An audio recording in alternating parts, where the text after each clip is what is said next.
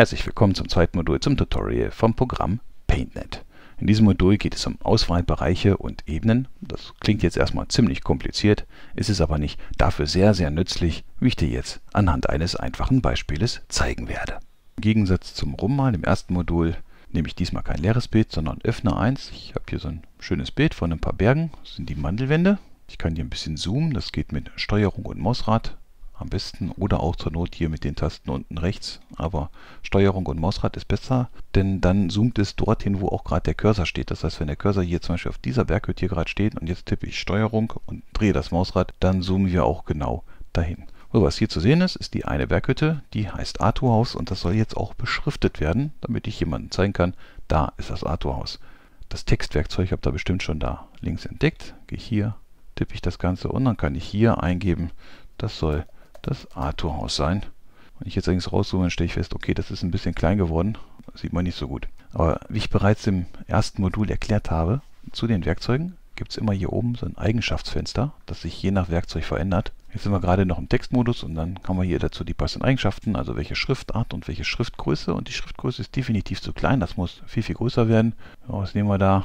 Ah, kommen wir mal 96. Ja, das sieht auch ganz vernünftig aus. Ich sehe auch, hier ist ein Tippfehler drin, doppeltes A. So, kann ich noch das Ganze verschieben, wo ich es hinhaben möchte und kann auch dann die Schriftfarbe verändern. Wie gesagt, bei PaintNet erst eingeben und dann alles anpassen. Also ich möchte es gerne nicht in schwarz, sondern in weiß sehen.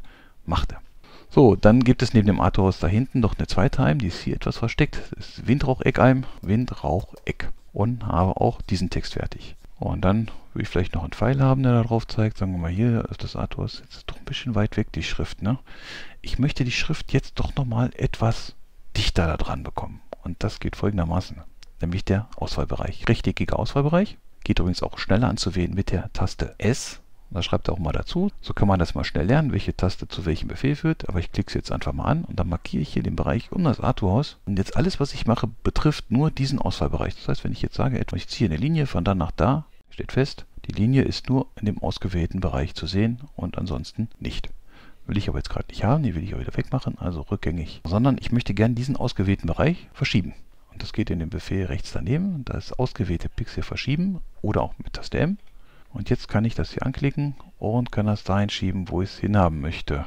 Und stelle fest, oh oh, nicht nur der Text hat sich verschoben, sondern der Text ist schon gleich mit dem Hintergrundbild verknüpft worden und jetzt verschiebt sich alles zusammen. Das ist nicht gut. Ich fange am besten nochmal ganz von vorne an. Das heißt, ich mache die Datei zu, geht da oben oder mit Steuerung W auch, öffne die Datei nochmal, das geht auch mit Steuerung O, nochmal Mandelwände Original und arbeite jetzt ein bisschen anders. Und zwar nehme ich jetzt noch ein Fenster dazu. Das Fenster heißt Ebenen. Das ist sehr praktisch. Ebene kann man sich so vorstellen wie durchsichtige Folien. Das heißt, ich erzeuge jetzt eine neue Ebene. Anschaulich gesehen, ich lege eine durchsichtige Folie über das Bild drüber. Und alles, was ich jetzt mache, mache ich in dieser Ebene. Das heißt, ich gehe jetzt hier wieder auf Text und Arthurhaus gebe ich hier wieder ein. Hier Windraucheck. Und das, was ich gerade gemacht habe, kann ich hier auch machen. Also ich gehe jetzt hier auf rechteckiges Fenster, markiere den Bereich und jetzt kann ich das Ganze verschieben, ohne dass das Hintergrundbild davon betroffen ist, weil ich eben in der Ebene darüber bin. Also auf der Folie, die da drüber liegt. Hinterher kann ich alle Folien wieder zusammenfügen, das ist gar kein Problem. Ich kann auch die Windraucheck dahin verschieben, wo ich sie haben möchte. Sagen wir mal da unten, dann kann ich von unten einen Pfeil gleich dran malen.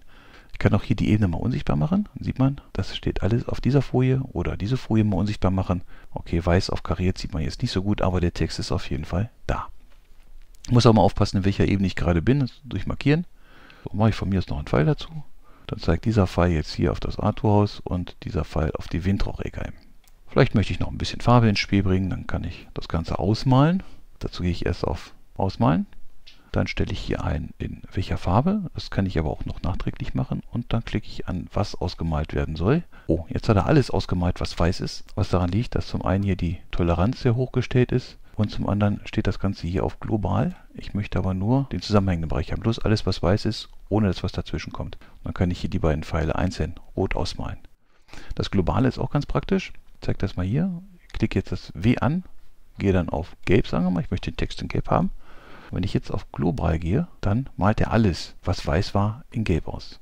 Er guckt dabei übrigens bei ein bisschen auf Toleranzen. Also wenn ich zum Beispiel hier hinten den Schnee oder so im Hintergrundbild äh, haben möchte, das ist ja nicht alles exakt der gleiche Grauton. Dann kann man gucken, wenn ich auf 0% stelle, dann ist nur ganz exakt der gleiche Grauton.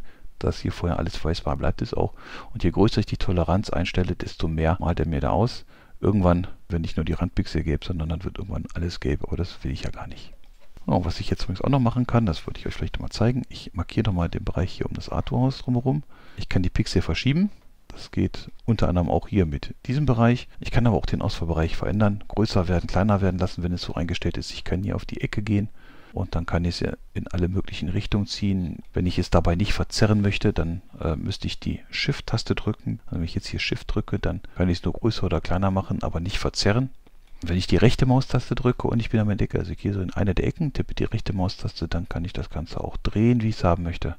Will ich jetzt hier alles gar nicht, aber ich wollte euch nur mal zeigen, das geht auch. Was ich jetzt noch so als letzten Trick dazu fassen möchte, ist, ich möchte das Ganze mit so einem Schatten unterlegen. Und das funktioniert folgendermaßen. Ich markiere alles, was mit einem Schatten versehen werden soll. Ich kopiere das in die Zwischenablage. Ich erzeuge noch eine neue Ebene und füge das wieder aus der Zwischenablage ein. Es hat sich anscheinend erstmal nichts verändert, aber ich zeige jetzt, es hat sich doch was verändert. Und ich habe jetzt eine Ebene, wo der ganze Quatsch auch nochmal drin ist. Ich packe mal hier an und verschiebe das hier und diese hier ist es zweimal da. Jetzt kann ich das hier so ein bisschen weiter nach links nach oben versetzen. Sagen wir ungefähr so. Jetzt merkt ihr schon ein Problem. Wenn ich wirklich ernsthaft arbeite, dann habe ich hier nicht nur 1, 2, 3 Ebenen, sondern auch mitunter 8 oder 9 Ebenen und da kommt man ganz schnell durcheinander. Damit mir das nicht passiert, kann ich die Ebenen auch beschriften. Also das soll jetzt meine Ebene werden, wo Texte und Pfeile drin sind und dann einfach Doppelklick drauf, Texte und Pfeile, Enter und dann steht hier auch, das ist die Ebene, die Texte und Pfeile enthält. Das soll die Ebene werden, die Schatten enthält. Doppelklick und dann nenne ich das ganze Ding Schatten. Sieht allerdings noch nicht so aus wie ein Schatten, aber das kann ich jetzt gleich ändern. Dazu zoome ich mal ein bisschen rein. Mach mal die Text- und Pfeile-Ebene komplett unsichtbar. Das soll jetzt hier alles grau werden. Das heißt, ich gehe jetzt hier wieder auf den Farbeimer, stelle mir ein schönes Grau ein. Ja, da sind die Randpixel noch nicht ganz erfasst. Ich kann die Toleranz ja mal noch ein bisschen erhöhen. So ist vielleicht besser. Und von Arthur Haus auch. Dann sehe ich hier, alles ist jetzt ganz grau geworden und zusammen mit der Ebene darüber, die ich jetzt wieder sichtbar mache, sieht das eigentlich so schön aus, als wäre da jetzt ein Schatten drunter. Dann kann ich auch die Ebenen zusammenfassen, also zum Beispiel die Texte- und Pfeile-Ebene und die Schattenebene zusammen. Jetzt ist das Ganze in einer Folie und ich kann das Ganze nur zusammen verrücken. Was auch noch geht, ich kann die Deckfähigkeit der Ebene verändern. Das heißt, ich kann von komplett undurchsichtig, das ist der Wert 255, bis zum Wert 0 runterziehen und je weiter ich das runterziehe, desto durchsichtiger wird die Ebene. Das muss man dann entscheiden, was man schön findet, ob man es entweder ganz kräftig als Text haben möchte oder ob man das Hintergrundbild noch so ein bisschen erahnen kann soll. Finde ich auch ganz nett. Zu guter Letzt kann ich das Ganze abspeichern und hier gibt es mehrere Möglichkeiten. Entweder ich will mein Bild mitsamt den Ebenen speichern. Wenn ich jetzt so auf Speichern gehe, dann sagt er automatisch auch, das ist eine PaintNet-Datei. Nenne das jetzt mal Mandelwände mit Ebenen und speichere das Ganze.